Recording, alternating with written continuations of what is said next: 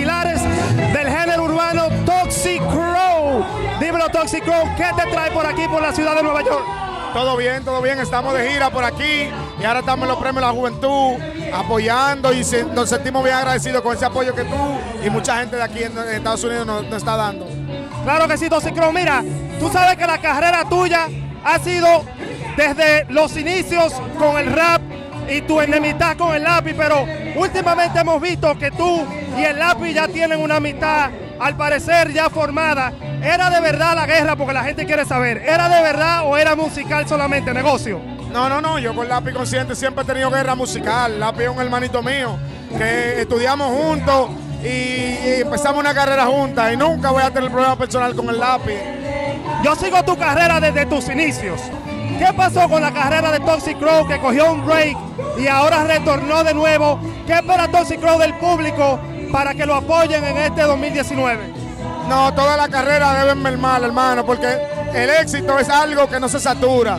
Todos los artistas tienen que parar por un tiempo y luego retornar, porque el, el público se satura los oídos. Entonces, ¿qué pasa?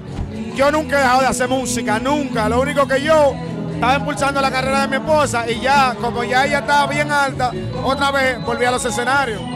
Eres el artista que tiene más dinero del género urbano. ¿Es cierto o es mentira? Dime la verdad, dime la verdad. No, eso es la gente, eso es la gente. Toxic Crow, son muchos apartamentos. Nosotros tratamos de echar hacia adelante, pero sin, sin echarle, sin echar vainismo a nuestro prójimo, ¿tú entiendes? Sin echarle vaina al prójimo.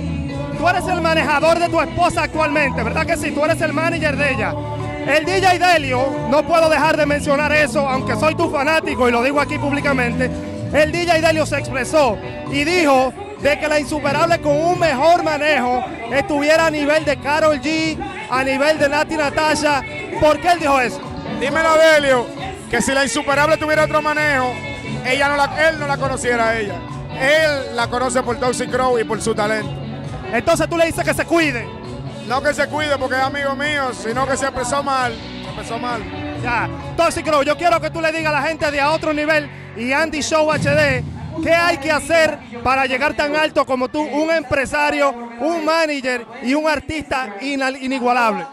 Lo primero es, hermano, creer mucho en Dios y confiar en ti mismo y tirar para adelante y todos los días trabajar fuerte, fuerte. No, no hay descanso. Uno va a descansar cuando uno se muera nada más, hermano, pero en la vida se trabaja. Muchas bendiciones para ti tu familia, hermosísima. Siempre veo el reality show de ustedes. Me encanta, de verdad, no me pierdo ni un capítulo de lo de ustedes. Así que cuando estés grabando un capítulo, tú nos mencionas Andy Show HD, que estaré viéndote y a otro nivel.net. Muchísimas gracias, mi hermano.